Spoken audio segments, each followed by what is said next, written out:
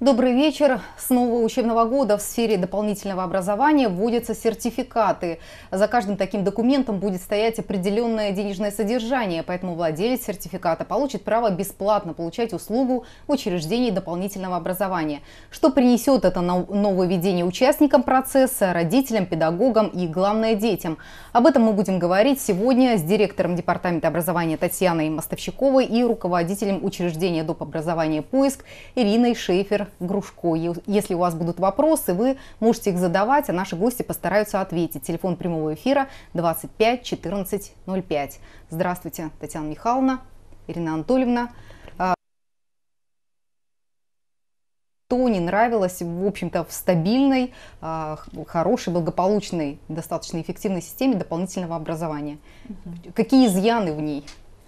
А, ну, наверное, нужно говорить не об изъянах э, сегодня с введением сертификата, а прежде всего нужно говорить о том, что сертификат, он дает возможность э, родителю, а, ребенку а, сделать индивидуальный выбор. От того и название персонифицированное дополнительное образование, финансирование дополнительного образования.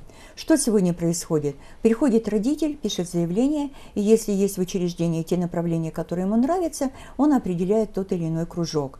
По сути, э, не идет уже в другое учреждение. А здесь есть большая возможность, что в реестре он ознак... родители ознакомятся вместе с детьми, возможно, даже на семейном совете, ознакомятся с реестром образовательных программ и выберут именно ту, которая им необходима для развития ребенка. Угу.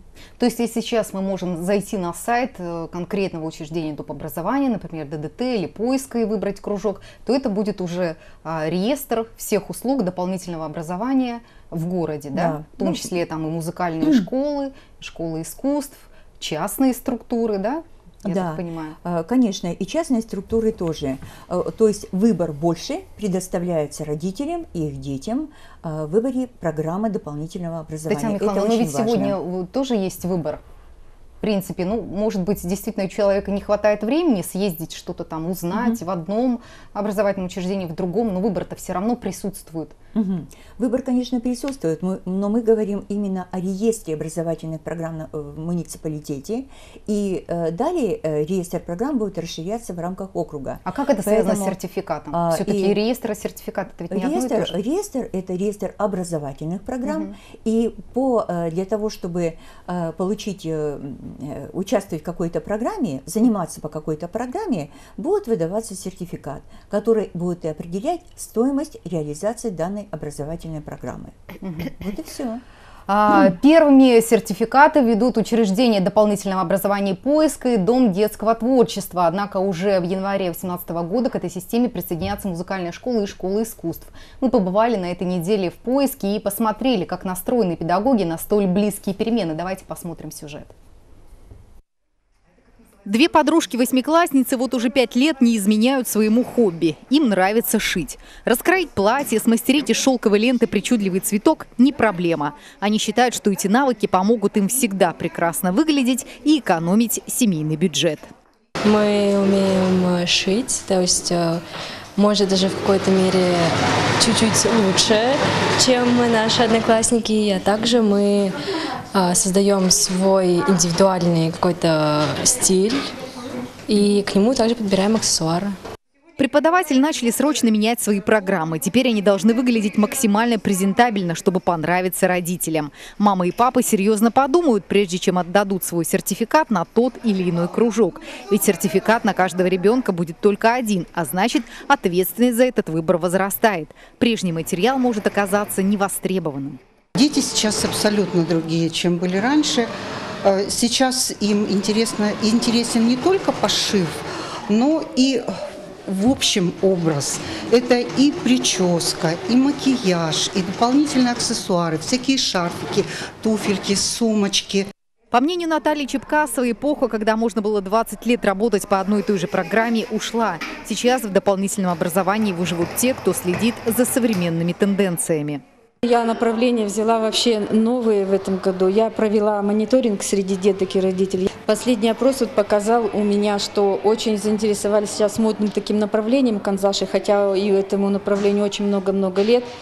Сегодня в поиске работает около 30 различных кружков. Лего-конструирование, электротехника, народный вокал, хореография, изобразительное искусство. К предстоящей сертификации педагоги относятся по-разному. Конечно, беспокоятся в том числе и за свою зарплату, ведь она будет зависеть от того, наберет ли педагог нужное количество детей. Если педагог не наберет нужное количество детей, он не получит свой, свой процент заработной платы. Это очень плачевно, конечно, но и тем не менее это есть тот стимул, который сегодня стоит перед педагогом, чем он может улучшить эту ситуацию. И я так думаю, что из доп. образования случайные люди уйдут. Марину Валиулину перемены особо не пугают, ведь хореография сегодня в тренде. Она ведет несколько групп, и все заполнены до отказа. Однако прежняя система была стабильна и понятна, и многие педагоги в недоумении, зачем нужна очередная реформа. Я работаю больше 20 лет. В принципе, вот схема, которая была в дополнительном образовании, мне понятна, прозрачна и меня устраивает. Но мы живем век прогресса, все меняется, и я надеюсь, наше правительство, те органы, которые эти новшества вводят, они все продумали, и это будет только плюсом. Выбор родителей, конечно, не обязательно будет зависеть от качества преподавания. Сертификаты могут уйти в такие структуры, как частные языковые школы и центры по подготовке к ЕГЭ, поскольку это связано с успеваемостью в школе и дальнейшим поступлением в ВУЗ. Существуют и опасения, существуют и какие-то положительные моменты. Опасения в том, что э, мы можем потерять какую-то часть наших ребят. Вот это самое важное и, и чего, конечно же, мы боимся. А вот инициаторы реформ уверяют, сертификаты, наоборот, помогут привлечь в учреждение еще больше детей. Столичные специалисты считают, что часть населения вообще не пользуется и даже не интересуется услугами дополнительного образования. И сертификаты должны их как-то простимулировать. Правда, каким образом, пока совершенно непонятно. А, вот как мы ответим на вопрос, который прозвучал в конце репортажа, каким образом все-таки авторы реформы а, собираются привлечь детей, еще больше детей? Почему за счет сертификатов их станет больше? Ну, вы уже увидели в сюжете, у нас очень многие педагоги на сегодняшний день занимаются э, пересмотрением содержания своих программ. Угу. Э, То есть за счет качества? Да, на, на счет этого мы проводим очень огромную работу, потому что э, каждый должен понимать сегодня, что программа сегодня должна быть конкурентоспособной. Она сегодня должна быть э, интересной для населения, для детей, угу. для родителей. И, э, конечно же, все нужно, все усилия усилия приложить к тому, чтобы э, как можно э, лучше То есть подготовиться к этому процессу. привлекут больше детей, да, остальные да. просто отомрут. Да. А все ли дети имеют право, вот на, будут иметь право на сертификат?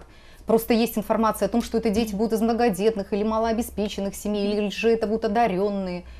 Как а, с этим делом обстоит? Однозначно. Все, каждый ребенок нашего города, угу. каждый школьник угу. а, будет иметь право на а, сертификат. И, э, конечно, вот сейчас, когда мы работаем в пилоте э, э, в пилотном режиме мы определили, определили особую категорию детей, возрастную категорию, да, это дети у нас от 8 до 12 лет. Это первое, и, конечно, мы будем включать сейчас и детей с ограниченными возможностями здоровья. Мы считаем это обязательным просто. А затем все дети, которые имеют право получить услугу дополнительного образования, от 6 до, 8, до 17 лет они будут иметь право на сертификат. А все ли а, кружки, которые в поиске есть и в Доме детского творчества, будут переходить на сертификаты в этом году? Э, ну, в этом году, как уже Татьяна Михайловна сказала, мы, конечно, э, попытаемся только э, перевести те кружки, которые вот возрастом подходят с 8 до 12 лет. А, но работают у нас все педагоги на эту тематику, и как бы все стараемся в процессе... То есть со следующего года Да, с 18 -го года, 1 да? января 2018 года, это уже будут все наши направления, которые сегодня имеются. Ну вот как э, мы сказали уже в репортаже, педагоги переживают, да, что э, ребенок может уходить из кружка, как это будет, э, и в то же время заработная плата педагога зависит от этого.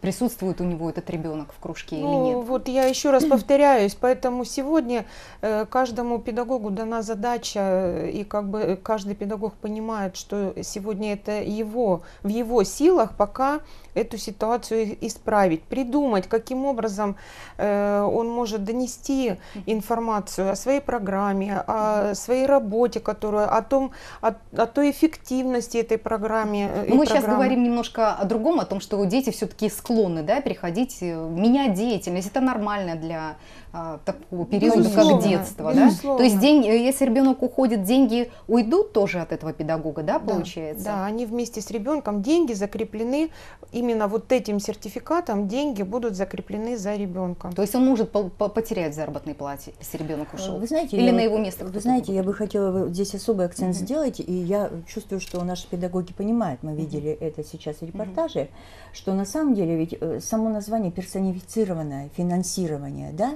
mm-hmm. это нам позволит э, вкладывать средства государственные конкретно э, в ребенка и развивать его целенаправленно. И на сегодняшний день э, совершенно нормально, как вы говорите, что можно в течение года пришел в один кружок, затем ушел в другой, и в это время деньги пойдут тоже за ребенком. Вот такое подушевое финансирование, какое, которое сегодня очень четко определилось в системе общего образования, оно приходит в дополнительное образование деньги идут за ребенком. Угу. Они важны для того, чтобы предоставить ему качественную образовательную услугу. Угу. И это очень правильно.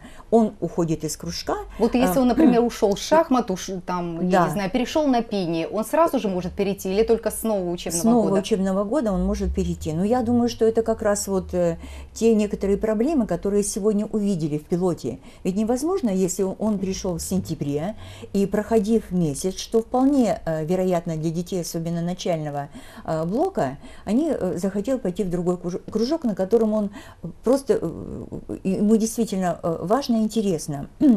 Может быть, и по состоянию здоровья, что тоже могут быть такие проблемы. Поэтому ждать целый год изменения, конечно, просто неправильно. Угу. Это и э, сертификат не будет работать, финансирование не будет. И ребенок не получит И ребенок, развитие. что самое главное, а мы угу. делаем самое главное для ребенка, все, он не будет ничем заниматься. Поэтому я думаю, что по итогам как раз вот э, окончания эксперимента, в частности, мы готовы внести это предложение и снять эту проблему. Угу. Напоминаю, сегодня мы говорим о введении сертификатов в сфере дополнительного образования. А, телефон прямого эфира 25 14 05. А, сколько, какая денежная сумма идет за сертификатом? Э, стоимость сертификата э, будет рассчитана, но она будет э, обозначена такой, которая и сегодня, на сегодняшний день тратится на одного ребенка, которая выделяется на одного ребенка для учреждений дополнительного образования. Она будет одной, единственной для всех участников этого учета. Сколько можно будет кружков посещать на а, сертификат. Вот я слышала, что в Москве два кружка помещается в этот сертификат, плюс спортивная секция. Как угу. это в Нефтьюганске Сегодня будет? точно не определено количество. Мы тоже вот сейчас в рамках пилотного режима определяем, но мы как понимаем, что это будет э, тоже не, не бесконечное количество, это будет ориентировочно два, может быть, плюс, э, если два кружка и плюс спортивная секция. Возможно, это будет так. Но тем не менее, это сейчас отрабатывается в пилотном режиме, и у наших коллег в Сургуте, которые начали работать и работают уже практически год, они тоже видят и понимают, и это важно и в педагогике, и воспитании детей, чтобы э, определился – для своего дальнейшего развития и э, нашел себя непосредственно в той сфере, в которой есть у него склонности, он может э, здесь заниматься и по состоянию здоровья, и, как правило, конечно, э, вот в связи с этим не может быть более двух-трех кружков, поэтому ориентировочно это будет так, но опыт, вернее, пилотирование покажет, и мы придем к какому-то э, заключению, которое будет в интересах ребенка. И у нас есть звонок. Здравствуйте. Добрый вечер. Угу. Представьтесь, пожалуйста. Меня зовут Лидия. Угу. У меня вопрос к Татьяне Михайловне. Угу. Скажите, пожалуйста, вот эти сертификаты будут ли дворцы спорта, такие как «Жемчужина Югры», угу. попадать вот сертификаты? А, Спасибо за звонок. Э, Сразу хочу сказать, что это э, касается учреждений дополнительного образования. На сегодняшний день есть э, кружки дополнительного образования, естественно, в нашем образовании, есть в культуре. В спорте сейчас одно дополнительное образование, но оно тоже выйдет из этой системы. А, Поэтому спорт в систему персони- персонифицированного финансирования не будет входить. Мгм. Ну, телезрители немного предвосхитили, так скажем, развитие нашего разговора. Об этом мы бы с вами Мгм. в любом случае поговорили, конечно же. А, вот конкретный пример приведу. Занимается у меня сын робототехникой, да, допустим, в Доме детского творчества. На следующий год захотел он заняться а, электротехникой. Кружок расположен в поиске. Это бесплатно будет, если я, например, получила на сертификат на робототехнику. А, и у нас серти- э, Если- кружок э, да, электротехники тоже сертифицирован. Как это Э, будет происходить? Если э, стоимость кружка робототехники по сумме войдет в количество э, сертификата, то и может, если у вас останутся деньги, э, то вы можете воспользоваться остатком суммы, вы можете воспользоваться другим направлением. А если э, случится так, что стоимость сертификата будет аналогична стоимости э, кружка робототехники, то, к сожалению, э, как А бы- может получиться так, что еще придется даже доплачивать. Кружок может будет и так настолько случиться, дорогой, и в принципе э, есть такой формат, кружок. если у родителей э, будет ну, интерес к какому-то направлению, но, к сожалению, это превысит стоимость сертификата, то родитель э, может самостоятельно э, добавить э, определенную сумму, чтобы ребенок занимался по направлению. Но особенно я хотела все-таки дополнить, что сейчас основная такая вот задача, которая стоит перед системой дополнительного образования, с введением персонифицированного финансирования, как раз уйти от э, э, платности а, от платных, э, чтобы родители доплачивали. Вот поэтому сегодня и целенаправленно вы можете э, выбрать в реестре программу, ознакомиться со стоимостью сертификата, посмотреть э, действительно все условия, и все-таки речь идет, и самая главная цель заключается в том, чтобы это было бесплатное образование. Не случайно в своем выступлении Владимир Владимирович Путин сказал, что к 2022 году, у нас в стране э, 75% детей в обязательном порядке должны получить бесплатное дополнительное образование. А сейчас они не получают его? А, Ну, оно же было, в принципе, Вы знаете, бесплатно. вот если говорить о нашем городе и о нашем округе, у нас этот показатель уже сегодня есть 70%. Но совершенно точно хочу сказать, что... А в других э, городах что мешает? а в, У них других, платное? а вы знаете, э, система платного образования очень сильно сегодня развивается. И, наверное, это тоже не уйдет. Но, тем не менее, все-таки, если это будет финансироваться целенаправленно, то э, доступное должно быть образование и бесплатное. Но, и у нас не есть менее- еще один звонок, давайте как раз на эту тему. Здравствуйте, представьтесь, пожалуйста. Здравствуйте, представьтесь. Здравствуйте. Добрый, добрый вечер, задайте свой вопрос. Меня зовут Ирина. Я бы хотела Татьяне Михайловне вопрос задать. Мгм. Задавайте. Э, Татьяна Михайловна, скажите, пожалуйста, сертификат будет ли действовать на такие образовательные учреждения, как и Еврошкола и Инна-студия, которая вот у нас Очень в городе хорошо, есть, в микрорайоне? А, Спасибо вам большое, очень хороший вопрос. И Действительно, сегодня а, индивидуальные предприниматели, а вы сегодня говорите про индивидуальных предпринимателей и частную школу, они также име- э, имеют право предоставлять свои услуги по дополнительному образованию. Для этого а, они, э, если войдут в реестр, а сегодня у них есть такое право, они подают программу э, в реестр, программа проходит сертификацию, и вы также можете выбрать эту программу и получить сертификат. Более того, хочу сказать, это одна из важных задач привлечения сегодня некоммерческих, государ- э, некоммерческие структуры э, к м, реализации программ дополнительного образования. Это, вот смотрите, вы задаете вопрос, по сути, тот, который сегодня не решается, к сожалению, в учреждениях нашего дополнительного образования. Но эта ниша заполняется индивидуальными предпринимателями, поэтому государство их поддерживает, и они также, э, вы также можете получить сертификат на получение услуги в частной э, в частном ну, вот, э, учреждении, о котором вы говорите, или у индивидуальных предпринимателей. Репетиторство также сюда будет входить? Вы знаете, вот относительно репетиторства, я не думаю, что это правильно. Если оно будет оформлено так же, как индивидуальное предпринимательство и подготовка, допустим, там угу. дополнительно какая-то подготовка к предмету, да.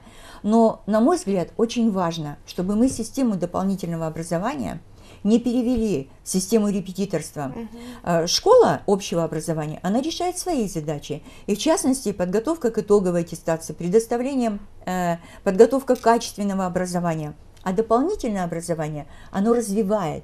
И, э, как То есть бы, оно не должно дублировать Оно школу, не должно дублировать. И мы не должны, что в принципе, такой риск есть. И сегодня в тех территориях, вот я изучала опыт Пермского края, они тоже работают в этом плане, э, Татарстан работает, что, в принципе, вот на первых этапах есть такие тенденции, когда э, индивидуальные предприниматели, предоставляющие услугу репетиторства или частных языковых школ, предоставляют эти услуги и переходит к РЕН. Это То есть востребовано то, да. что помогает подготовиться к ЕГЭ, но да, мы, мы должны понимать, Там что дополнительное очень... образование, оно развивает, и оно должно именно такую функцию нести. И угу. очень важный момент, можно я добавлю, пожалуйста, э, если э, негосударственный сектор будет представлять серьезную образовательную, общеразвивающую образовательную программу, которая будет утверждаться у нас э, окружным региональным оператором. То есть и... все это должно качество да, проверяться, да, что да. предоставляет Только в том случае они войдут в этот реестр программ. Угу. Извините, одну минуту все-таки хочу сказать о том, что, э, уважаемые родители, вы должны понимать, э, в каких условиях работает индивидуальный предприниматель. Вот сейчас были названы два индивидуальных предпринимателя и частная школа, лингва-школа. Это очень хорошие поставщики услуг, да? Но и обращаясь к индивидуальным предпринимателям, которые будут регистрироваться в реестре, и к родителям, мы прежде всего должны предоставлять качество услуг. А для этого должны быть очень качественные условия. Поэтому нужно прежде всего смотреть условия, в которых реализуется программа. Это и кадры, это материально-техническая база, это будут определять качество, конечно. Дом детского творчества – самое крупное учреждение дополнительного образования у нас в Нефтеюганске. Здесь занимается более трех тысяч школьников и работает педагог года всей России. Как он и его коллеги оценивают новшества в виде сертификатов, на что надеются и чего опасаются, посмотрим репортаж. Александра Молодежникова представлять не нужно. В своем направлении он лучший. Осенью Александр Петрович победил на всероссийском конкурсе «Учитель года». Казалось бы, уж у него-то волноваться нет причин. На педагога с именем, да еще на такое популярное направление, как робототехника, дети пойдут. Но поводы для переживания, оказывается, есть. Первый – это беспокойство за качество знаний, которые получат дети. Сертификаты будут способствовать развитию краткосрочных программ. Тут может получиться такой момент, что мы скатимся к примитивизму. То есть программы станут более проще, будут такие, знаете, вау-шоу научные. То есть ребенок пришел, что-то сделал, получил эффект вау и ушел. Вот э, как это совместить с получением новых знаний? То есть если ребенок будет приходить на шоу, ему, естественно, будет больше нравиться шоу. А если он будет приходить на занятия, где надо трудиться и работать, это совершенно другой уже будет подход. Естественно, будут выигрывать шоу. Переживает Александр Петрович и о том, как скажется на педагогах детское непостоянство. Известно, что в школьном возрасте интересы быстро меняются, и попробовав себя в одном кружке, мальчишки и девчонки могут спокойно перейти в другой. В случае с сертификатом ситуация другая. Восстановить его можно будет только с нового учебного года. Между тем, от количества воспитанников будет зависеть зарплата педагогов. Молодежника всю жизнь в дополнительном образовании, и это далеко не первая реформа в его опыте. Тут столько подводных камней, у нас постоянно происходит какая-то революция, все новые системы. У нас переезд одновременно с пожаром получается в дополнительном образовании, и это уже длится много лет. Нестабильность. То одни требования к учебным программам, то другие требования. То мы будем, э, допустим, э, так считать вашу программу, то мы вот так будем считать, то мы ждем от вас вот этих вот результатов. Шахматы тоже не могут пожаловаться на недостаток внимания. Сейчас это перспективное направление, которое внедряют даже в обязательную школьную программу. По мнению Марата Мухаммадиярова, система сертифицирования не повредит педагогам, которые развиваются. Однако она ни в коем случае не должна охватывать всю сферу дополнительного образования. Если брать спортивное направление, то, конечно же, у любого человека должна быть э, возможность заниматься спортом, неважно, может он себе это позволить или нет. То есть в этом направлении. Ну а если какие-то такие, скажем так, элитные виды деятельности, да, которые ну, в силу вложения определенных средств, они должны приносить деньги, они должны окупаться, то, конечно же, ну, родители должны вкладывать. Кружок «Умники и умницы». Ни спорт, ни хореография и ни техническое творчество. Однако, по прогнозам, именно такие объединения, возможно, будут наиболее востребованы у родителей, потому что это помощь в учебе. С другой стороны, какой будет ситуация в действительности, сейчас предсказать сложно. Конечно, очень тревожно. Сегодня я имею этих детей, а завтра они скажут, «А, мы не хотим, нам неохоты, и я останусь без этих детей. Естественно, это будет удар по моей зарплате. Это нестабильность, это тревожно. Руководитель ДДТ Ольга Батюкова видит плюс сертификата в том, что они принесут деньги на материально-техническую базу. Сегодня она обновляется только за счет грантов и платных услуг. Однако, если на сертификацию приведут все дополнительное образование, есть риск, что дети, которые сейчас ходят на 2-3 кружка, смогут посещать только один, тот, что обеспечен сертификатом. Все остальное потребует родительских вложений. Если это будет, э, например, программа стоит 15 а, тысяч, а сертификат на 10 тысяч, соответственно, 10 тысяч уйдет на сертификат, а 5 тысяч, 5 э, тысяч родитель должен заплатить самостоятельно. А, и сейчас у нас может э, один ребенок ходить на три направления. Да, а по факту может оказаться, что родителям будет по карману только одно направление.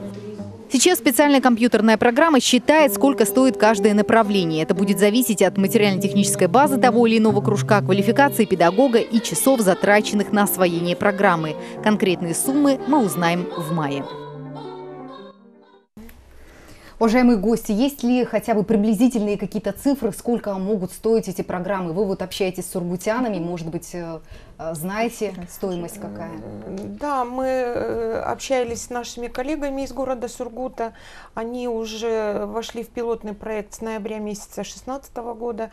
И у них уже, конечно, есть и стоимость сертификатов, и даже они ее спланировали до 2020 года уже у них ориентировочно случилось так, что программы технической направленности, они э, более подороже, дорогостоящие. более дорогостоящие э, получились, художественной направленности немножко дешевле.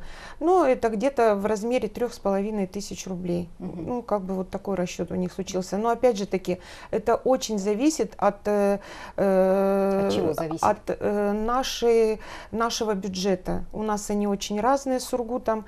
И, э, конечно же, наша стоимость, она будет на порядок отличаться. Сколько... В меньшую или в большую сторону? А, знаете, здесь нужно вот что учи- учитывать и понимать, что входит вообще в стоимость сертификата. Да? Угу. По сути, это аналог стоимости образовательной программы. Мы сегодня знаем, э, это заработная плата, это заработная да. плата раз, материально-техническая база два и 50% э, э, коммунальных услуг. Угу. Оно входит тоже сюда. Вот поэтому здесь говорить о том, что резкая будет разница, конечно, нет, потому что у нас существуют нормативы, угу. и э, в плане в части заработной платы они вообще единые по округу, и у нас есть целевой показатель. Да. А, поэтому здесь разницы большой не будет. Угу. Вот, э, она, в принципе, я думаю, что округ, вот как сегодня есть целевой показатель по заработной плате, он также должен удерживаться, потому, -то, потому что есть это указ президента. Другое дело, что для этого педагогу нужно просто поработать очень качественно. И программа должна действительно привлекать к себе. И должна быть... Э, вот сегодня очень Александр Петрович правильно сказал, что чтобы это не было шоу. Да, но мы сейчас на этапе пилотного вот режима и будем работать по краткосрочным программам. А далее это могут быть и не краткосрочные угу. программы те, которые будут давать конкретный результат. Да, переходный период, конечно, он будет очень сложный, и мы будем много э, иметь каких-то проблем. Но я думаю, что потом это будут хорошие допол- программы дополнительного образования. А вот в школах у нас есть а, тоже творческие объединения, в некоторых школах их довольно-таки много, и шахматы, и лепка, и другие. Что с ними будет? Они тоже те будут школы, сертифицированы Те школы, где есть педагоги дополнительного образования, где есть программы э, общего, э, общего дополнительного образования, они тоже также могут участвовать, то бишь им нужно будет тоже зайти в этот реестр, э, зарегистрироваться, учиться и точно Ну, так же насколько помню, Татьяна Михайловна говорила, что это Но- неурочная деятельность, но они пока к этому не сегодня- но относятся. Но Сегодня, сегодня пока да. речь им- такой, пока мы э, результат, не, вернее, такую задачу для себя мы не ставим. Ну, Сегодня да, мы не они когда в будем. дальнейшем А, Вы знаете, во-первых, мы понимаем систему дополнительного образования как организацию внеурочной деятельности. Сегодня внеурочная деятельность – это э, э, федеральные государственные стандарты нового поколения. Поэтому сегодня школа не берется э, в расчет.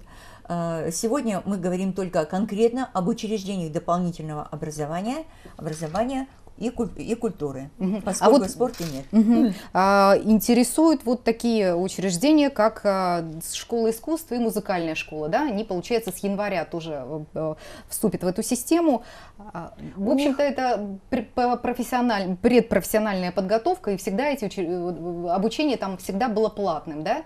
А если человек получает, ребенок получает сертификат как раз на образовательную услугу, которую предоставляют эти учреждения, он не будет платить, получается? У них там э, есть два вида программ. Есть э, профессиональные программы, а есть такие же тоже э, общеразвивающие дополнительные программы. Вот дополнительные программы, они будут участвовать э, в персонифицированном финансировании, а э, профессиональные программы, к сожалению, будут, нет. Да? Мгм. Понятно. То есть они в любом случае всегда будут Да, за деньги, да. за родительские. Мгм. Ну, по поводу м, спортивных секций вы уже сказали, да, что то есть у детей будет возможность, вне зависимости от дохода семьи, заниматься бесплатно, даже не получая сертификат. Правильно? Да, сейчас да. Сейчас да. Мгм. А вот про сургутян вы уже немножко начали да, рассказывать про стоимость и так далее. А, Что показывает их опыт? Как, как- какое у них впечатление, какие отзывы? Нравится, не нравится эта система? Э, Ну, конечно, хлопотное это дело, и э, очень много э, предложений они нам э, высказывают, своих уже, ну, как бы те, те шишки, которые они набили, Мгм. они нам поясняют, и мы попытаемся сделать это, конечно, менее болезненно. Но однозначно... А какие шишки, какие там вообще подводные камни? Ну, у них, видите, у них тоже пилотный был проект, и тоже своя специфика. Не все дети вошли в этот проект, и, конечно же, родители, очень много было желающих, которые хотели бы, очень много было звонков, э, и поступает до сих пор, нам сказали, вот мы встречались недавно о том, что прям э, телефон срывают, о том, что жители беспокоятся, где можно взять, как. Э, То есть всем хочется, а, к сожалению, не все могут войти в эту систему. И для того, чтобы у нас это не случилось, мы очень постараемся информировать наше население города, очень постараемся сделать доступ родителей э, на сайтах э, департамента образования, на наших сайтах наших образовательных организаций, чтобы родители понимали, видели и получали ту информацию, которая происходит э, по этому вопросу у нас в городе. Да, я вот хотела еще дополнить, что э, на сегодняшний день у нас э, Центр молодежных э, инициатив определен как бы центром работы, э, чтобы было понятно населению, именно по персонифицированному дополнитель- образов- финансированию дополнительного образования. Сейчас идет подготовительная работа. И сейчас у нас сф- сформирован реестр программ дополнительного образования, который, вот акцент я хочу сделать, и об этом подчеркнула сейчас Ирина Анатольевна, о том, что это будут именно, мы взяли часть только программ, а, потому что э, условиями пилотного режима определено, что 10% а, от имеющихся программ а, будут включены в пилотный режим. Это первое. И второе, вот я бы хотела, чтобы меня услышали индивидуальные предприниматели, а, с качественным предоставлением услуг а, 10% а, мы э, вообще предполагается, что это будут как раз стру- структуры, да, А сколько э, будет длиться эксперимент? Как долго? Эксперимент э, длится, по сути, с 1 э, января 2018 года все войдет в штатном режиме. Но если э, действительно оценка будет положительная, потому что сегодня в семи регионах э, нашей страны проходит этот эксперимент. Он находится на режиме, э, вернее, на контроле Министерства образования. Постоянно э, отчеты туда направляются, мнения направляются. Изучаться будут мнения родителей, э, педагогов. И я думаю, что те опасения, которые сегодня есть, они должны просто уйти. Мы должны все сделать, чтобы их снять, эти опасения, и принять какие-то правильные решения по именно вот по этому направлению. Татьяна Михайловна, как все-таки уйти вот от э, такого риска, как вы говорите, что дополнительное образование, оно может э, скатиться к дублированию школы? А, учитывая, что действительно будет сертификат, и, возможно, Знаете, придется за какие-то услуги доплачивать. Вот реально оценивая ситуацию, я понимаю, что на первом этапе это может иметь место. Но далее вот. А что э, дальше поможет изменить а дальше, родителям свое я думаю, а, я думаю, что, во-первых, качество предоставляемых услуг угу. и большая работа школы и родителей. А, ведь сегодня разъяснительная какая-то, да, да? какая-то большая разъяснительная Наша работа, тоже. а может быть даже и включение на каких-то этапах родителей чтобы они понимали действительно, что происходит э, с ребенком, когда он посещает учреждение дополнительного образования. Угу. Э, есть урок, а есть занятия дополнительного образования. И между ними есть разные функции. И вот эти функции мы должны понимать. Вообще э, дополнительное образование, оно дарит все то, что э, ребенку все то, что должно быть в детском периоде. Радость, э, познавательный интерес, увлеченность. Mm-hmm. Может быть, действительно... Какой-то, может быть, даже да, выбор профессии Выбор в профессии в дальнейшем. Ведь это некоторые пробы да, mm-hmm. его жизни. Поэтому это не должно смеш... идти, идти вместе как-то mm-hmm. и заменя... менять, не должна происходить замена да, угу. школьных занятий и системы дополнительного образования. Это все мы должны понять. И я думаю, когда, это же вот конкуренция действительно, и когда уйдут некачественные услуги. Татьяна Михайловна, извините, у нас заканчивается эфир, и я задам вопрос, который, наверное, волнует больше всего родителей, да, когда мы начали о сертификатах говорить. А, есть слухи, да, есть какие-то опасения, что дополнительное образование станет платным или частично платным. А, стоит вообще этого опасаться? Введение сертификатов может в дальнейшем вообще к этому привести? Нет, введение сертификатов к этому не может привести. Но э, вообще платные услуги они были и будут, это mm-hmm. уже э, вне программ. А, но платно, но сертификат это не цель э, внедрить платное образование в систему дополнительного mm-hmm. образования. Это все должны понимать родители, mm-hmm. педагоги. Ну, это цель, в общем, мы. как-то поднять это качество, очень, да? На, это прежде всего поднять на другой качество. уровень вывести да. дополнительное образование. Куда родителям обращаться за сертификатами? ЦМИ, да? Центр, Центр молодежных инициатив. Это третий микрорайон. Но все это будет, да. большая информация будет на сайте а, нашей администрации, на сайте образовательных организаций и также на, на сайте Центра молодежных инициатив. И мы э, эту информационную работу будем проводить очень активно. Когда, они смогут, когда и где они смогут увидеть а, стоимость услуг? В мае месяце, я думаю, это уже будет известно, и мы проинформируем в школах, на родительских собраниях, мы обязательно mm-hmm. это скажем всем э, нашим родителям, они смогут определиться с выбором на э, будущий учебный год, на сентябрь месяц. Mm-hmm. То есть мимо нас эта информация никак не нет, пройдет? Нет, нет. Угу. Спасибо вам огромное за это разъяснение, информирование да, на такую тему, которая действительно интересует всех родителей. Спасибо. Спасибо да. вам.